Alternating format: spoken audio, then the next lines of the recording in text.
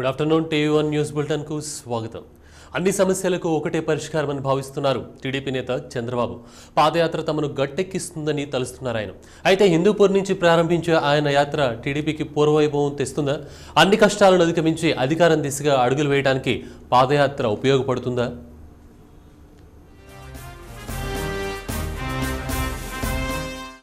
TDP అధినేత చంద్రబాబు తన రాజకీయ జీవితంలోనే అత్యంత క్లిష్టమైన పరిస్థితిని ఎదుర్కొంటున్నారు. వరుసగా రెండుసార్లు పార్టీ అధికారానికి దూరమైంది. ఒకవైపు రెండు వేల పద్నాలుగు తరుముకొస్తుంటే మరోవైపు సవాలక్ష సమస్యలు అదే రేంజ్లో చుట్టుముడుతున్నాయి. ఈసారి కూడా ఓటమి ఎదురైతే ఒక ప్రాంతీయ పార్టీగా మనుగడ సాగించడం చాలా కష్టం. రెండు వేల పద్నాలుగు మిస్ అయితే ఇక రెండు వేల పంతొమ్మిది. అప్పటికి అటు చంద్రబాబు వయసు కూడా డెబ్బైకి చేరుకుంటుంది. ఈ రకంగా చూసినా సరే రెండు వేల పద్నాలుగు తెలుగుదేశం పార్టీకి అత్యంత కీలకం. డూ ఆర్ డై పరిస్థితి. అపర చాణుక్యుడిగా విమర్శకుల ప్రశంసలు అందుకున్న బాబు ఇప్పుడు టీడీపీని కష్టాల కడలి నుంచి గట్టెక్కించడానికి పక్కా స్కెచ్ గీశారు. పాదయాత్రతో రాష్ట్రమంతా చుట్టేసి ప్రజాక్షేత్రానికి దగ్గర కావడానికి సిద్ధమవుతున్నారు. అక్టోబర్ రెండవ తేదీన హిందూపూర్ నుంచి ప్రారంభమయ్యే వస్తున్నా మీకోసం యాత్ర నూట పదిహేడు రోజుల పాటు పదమూడు జిల్లాల్లో సాగి విశాఖలో ముగుస్తుంది. వాటిలో ఏడు తెలంగాణ జిల్లాలు కూడా ఉన్నాయి. బాబు యాత్ర సాగుతున్న సమయంలోనే రాష్ట్ర వ్యాప్తంగా పల్లె పల్లెకు తెలుగుదేశం పేరుతో ప్రజా సమస్యలపై పోరాటాన్ని ఉధృతం చేయడానికి తెలుగు తమ్ముళ్ళు సన్నద్ధమవుతున్నారు. మన జీవితాలు బాగుపడాలంటే మళ్ళీ ఈ సమ సమాజంలో ఆర్థిక అసమానతలు తగ్గడం కానీ పేదవారికి న్యాయం చేయాలంటే ఆ రాజ్యాంగాన్ని మనం అమలు చేయాల్సిన అవసరం ఉంది. ఈ రెండు రోజులు కోయిన్సైడెన్స్ చేసుకొని నేను ఒక యాత్ర ప్రారంభించాలని ఒక అందరితో మాట్లాడిన తర్వాత ఒక నిర్ణయం చేశాం. అది కూడా మన నాయకుడు ఎన్టీ రామారావు గారు. ఎక్కడైతే ప్రాతినిధ్యం వహించారో హిందూపూర్ నుంచే ప్రారంభించాలని చెప్పి నా ఆలోచన. అక్టోబర్ రెండున సాయంత్రం నాలుగున్నరకు హిందూపూర్ నుంచి చంద్రబాబు పాదయాత్ర మొదలైతే అదే రోజు నుంచి టీడీపీ మండల గ్రామస్థాయి కమిటీల సమావేశాలు ప్రారంభమవుతాయి. అక్టోబర్ ఇరవయవ తేదీ వరకు ఈ సమావేశాలు నిర్వహిస్తారు. ఇక అక్టోబర్ ఇరవై నుంచి నవంబర్ ముప్పై వరకు పల్లె పల్లెకు తెలుగుదేశం కార్యక్రమాన్ని చేపట్టనున్నారు. సెప్టెంబర్ ముప్పైన సీమాంధ్రలో జిల్లా స్థాయి ఎన్నికలు నిర్వహిస్తే అక్టోబర్ ఐదున తెలంగాణలో ఎన్నికలు నిర్వహిస్తారు. ఈ స్కెచ్ బాబు పాదయాత్రకు కూడా బాగా ఉపయోగపడుతుందన్నది టీడీపీ పథకంలా కనిపిస్తోంది. అక్టోబర్ రెండు నుంచి సెప్టెంబర్ నవంబర్ నవంబర్ చివరి వరకు మొత్తం రెండు మాసాలు కమిటీలను సెన్సిటైజ్ చేయడం తర్వాత పల్లె పల్లెకి తెలుగుదేశం. ఈ రెండు మాసాల కార్యక్రమాన్ని కూడా ఈ విస్తృత స్థాయి సమావేశంలో నిర్ణయించడం జరిగింది. అదేవిధంగా మండల స్థాయి కమిటీలు అయ్యాయి డివిజన్ స్థాయి కమిటీలు అయ్యాయి వార్డు స్థాయి కమిటీలు అయ్యాయి అదేవిధంగా గ్రామ స్థాయి కమిటీలు పూర్తయ్యాయి. జిల్లా స్థాయి కమిటీలు సీమాంధ్ర జిల్లాల్లో ముప్పైవ తేదీన సీనియర్ నాయకులు పరిశీలకులుగా వెళ్ళి ఈ నెల ముప్పైవ తేదీన సీమాంధ్ర జిల్లాల్లో జిల్లా స్థాయి తెలుగుదేశం పార్టీ ఎన్నికలు నిర్వహించడం జరుగుతుంది. అదేవిధంగా తెలంగాణ ప్రాంతంలో జిల్లా స్థాయి ఎన్నికలు అక్టోబర్ ఐదవ తేదీన జరిపించడానికి ఈ సమావేశంలో నిర్ణయించడం జరిగిందని చెప్పి నేను మనవి చేస్తున్నాను. తెలంగాణలో ప్రత్యేక ఉద్యమ నినాదం సీమాంధ్రలో వైఎస్ఆర్సీపీ సానుభూతి పవనం. రెండు ప్రాంతాల్లోనూ ఈ రెండు కారణాలు టీడీపీ కేడర్ను లీడర్షిప్ను చెల్లాచెదురు చేశాయి. టీడీపీ నుంచి వలసల పర్వం కొనసాగుతూనే ఉంది. రెండు వేల తొమ్మిది తర్వాత రాష్ట్రంలో జరిగిన ఏ ఉప ఎన్నికల్లోనూ టీడీపీ విజయం సాధించలేదు. అత్యధిక బైపోల్స్లో డిపాజిట్ కూడా దక్కలేదు. రాష్ట్ర వ్యాప్తంగా క్షేత్రస్థాయిలో అత్యంత బలమైన కేడర్ ఉన్న పార్టీగా గుర్తింపు పొందిన టీడీపీ టీఆర్ఎస్ వైఎస్ఆర్సీపీ దూకుడు ముందు వెనకబడిపోయింది. ప్రత్యర్థులను ఎదుర్కోవడానికి ప్రజల్లోకి వెళ్ళాలని డిసైడ్ అయిన బాబు అందుకు చాలా రోజుల నుంచే గ్రౌండ్ వర్క్ చేస్తూ వచ్చారు. బీసీ డిక్లరేషన్ ఎస్సీ వర్గీకరణ అనుకూల నిర్ణయాలతో దూరమైన వర్గాలన్నింటినీ దగ్గర చేసుకునే ప్రయత్నం చేశారు.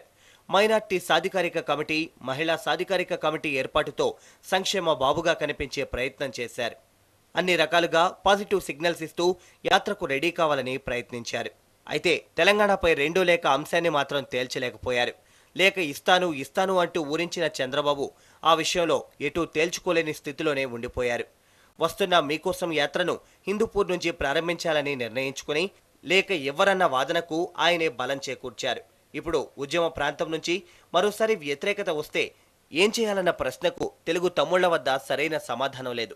మరోవైపు లేఖ ఇస్తే కలిగే లాభాలను బాబుకు వివరిస్తామంటున్న టీటీడీపీ నేతలు అధినేత లేఖ ఇస్తారన్న నమ్మకంతోనే ఉన్నారు. తప్పకుండా లేఖ త్వరలోనే ఉంటుంది. రేపు మీటింగ్ అయిపోయిన తర్వాత కూడా మళ్ళీ కొంతమంది నేతలతోటి మాట్లాడుతూ ఉన్నారు.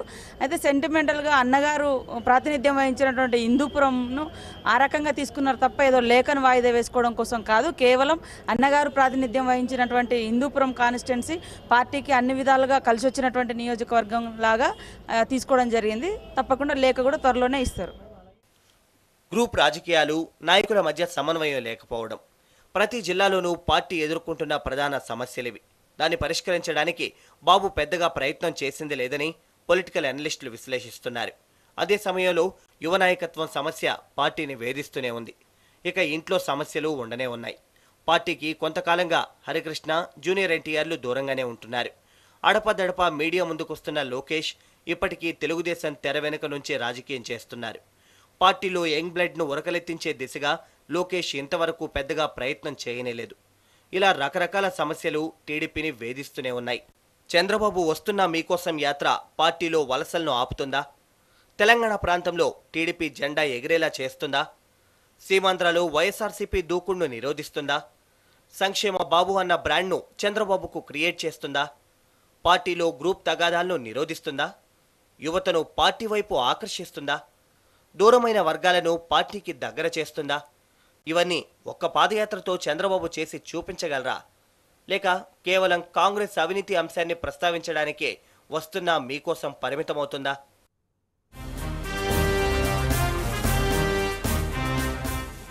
కేంద్ర కేబినెట్ కాస్త కరుణించింది. సబ్సిడీలు తగ్గించే ఎజెండాను పక్కన పెట్టి వివిధ వర్గాలకు లాభం చేకూర్చే నిర్ణయాలను ఆమోదించింది. కేంద్ర ప్రభుత్వ ఉద్యోగులకు ఏడు శాతం డిఏ పెంచింది. మాజీ సైనికులకు వన్ ర్యాంక్ వన్ పెన్షన్ ప్రతిపాదనను ఆమోదించింది. కాయలపడ్డ విద్యుత్ బోర్డులకు బెయిలౌట్ ప్యాకేజీలను నజరానా ఇచ్చింది.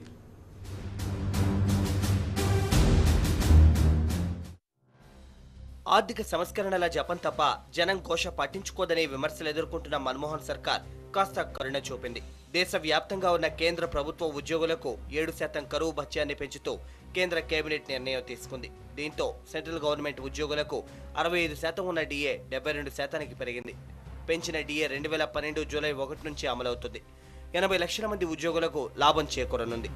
సుదీర్ఘకాలంగా పెన్షన్ విషయంలో ఆందోళన చేస్తున్న రిటైర్డ్ సైనిక సిబ్బంది విషయంలోనూ కేంద్ర కేబినెట్ కరుణ చూపింది. ఎక్స్ సర్వీస్ మెన్లకు వన్ ర్యాంక్ వన్ పెన్షన్ ప్రతిపాదనకు ఆమోదం తెలిపింది. దీనికోసం రెండు వేల మూడు వందల కోట్ల రూపాయలను కేటాయించింది. గర్భిణీ స్త్రీలు పసిపిల్లలకు పౌష్టికాహారం అందించేందుకు వీలుగా అంగన్వాడీ కేంద్రాలకు వచ్చే ఐదేళ్ళలో లక్ష ఇరవై మూడు వేల ఐదు వందల ఎనభై కోట్లు వెచ్చించే ప్రతిపాదనకు కేంద్ర కేబినెట్ ఆమోదం తెలిపింది. వీటితో పాటు ఖాయిల పడ్డ వివిధ రాష్ట్రాల విద్యుత్ బోర్డుల కోసం బెయిలౌట్ ప్యాకేజీలను కూడా కేంద్ర కేబినెట్ ఆమోదించింది. ప్రజల నుంచి ముక్కుపిండి వసూళ్ళు చేయడానికే కాకుండా ప్రజా సంక్షేమానికి పెద్ద ఎత్తున నిధులు వెచ్చిస్తున్నారన్న సంకేతాలిచ్చింది తాజా నిర్ణయాలతో కేంద్ర కేబినెట్.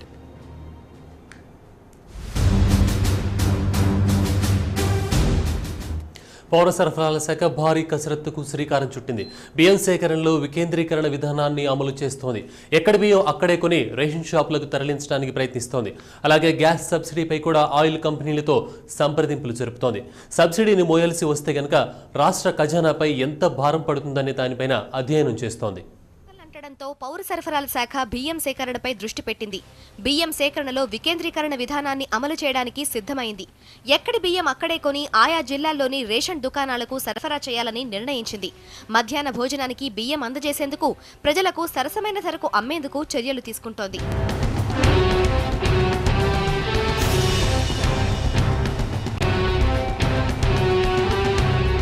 సచివాలయంలో కేంద్ర పౌర సరఫరాల సహాయ మంత్రి కేవీ థామస్ ముఖ్యమంత్రి కిరణ్ కుమార్ అధ్యక్షతన జరిగిన సమావేశంలో పలు కీలక నిర్ణయాలు తీసుకున్నారు. బియ్యం సేకరణలో వికేంద్రీకరణ విధానాన్ని పైలట్ ప్రాజెక్టుగా నల్గొండ కరీంనగర్ గుంటూరు ప్రకాశం వరంగల్ నెల్లూరు చిత్తూరు జిల్లాల్లో అమలు చేయాలని నిర్ణయించిన ప్రభుత్వం మొత్తం పదకొండు లక్షల మెట్రిక్ టన్నుల బియ్యం సేకరించి సరఫరా చేయాలని లక్ష్యంగా పెట్టుకుంది. ఈ డీసెంట్రలైజ్ ప్రొక్యూర్మెంట్ బియ్యం విషయంలో ఈ రాష్ట్రం ప్రభుత్వం తరఫున ఫేజ్ వైజ్ మేనర్లో ఈ ప్రొక్యూర్మెంట్ కార్యక్రమాన్ని తీసుకెళ్ళాలనే ఒక ఆలోచన చేయటం జరిగింది. ఆ క్రమంలోనే మొదటి దఫలో ఆరు నుంచి ఏడు జిల్లాల ప్రణాళిక తీసుకొని ఈ జిల్లాకు సంబంధించిన పూర్తిస్థాయి ప్రొక్యూర్మెంట్ బియ్యం సేకరణ మరి సివిల్ సప్లైస్ కార్పొరేషన్ ద్వారా చేయటం జరుగుతుంది. వరి ధాన్యాన్ని సేకరణ విషయంలో అన్ని జిల్లాల్లో వరి ధాన్య సేకరణ జరుగుతుంది. రాష్ట్ర వ్యాప్తంగా ధాన్యం సేకరణ యథావిధిగా జరుగుతోందని రైతులకు గిట్టుబాటు ధర కల్పించడంలో రాజీ పడేది లేదని మంత్రి శ్రీధర్ బాబు చెప్పారు. ఐకేపీ మహిళల ద్వారా ధాన్యం సేకరణలో రాష్ట్రం దేశానికే ఆదర్శమన్నారు. మొత్తం ఇరవై ఐదు లక్షల మెట్రిక్ టన్నుల సామర్థ్యం గల గోదాముల నిర్మాణం రెండు వేల పదమూడు మార్చి నాటికి పూర్తి చేస్తామని చెప్పారు మంత్రి శ్రీధర్ బాబు. పౌర సరఫరాల శాఖ సమీక్ష సమావేశంలో గ్యాస్ సబ్సిడీపై కూడా చర్చ జరిగిందన్నారు.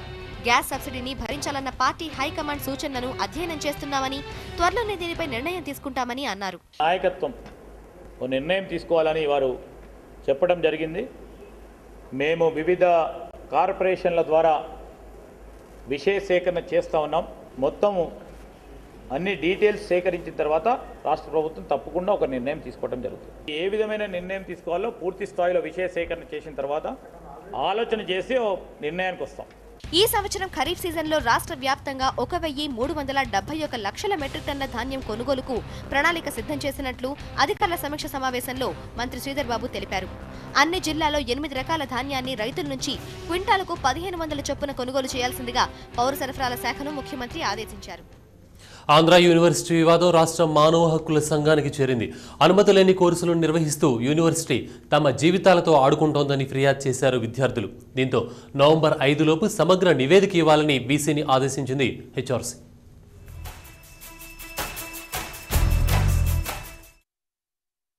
ఆంధ్ర యూనివర్సిటీ ఎనిమిదేళ్ళుగా యూజీసీ అనుమతి లేని కోర్సులు నిర్వహిస్తూ విద్యార్థుల భవిష్యత్తుతో చెలగాటమాడుతోంది.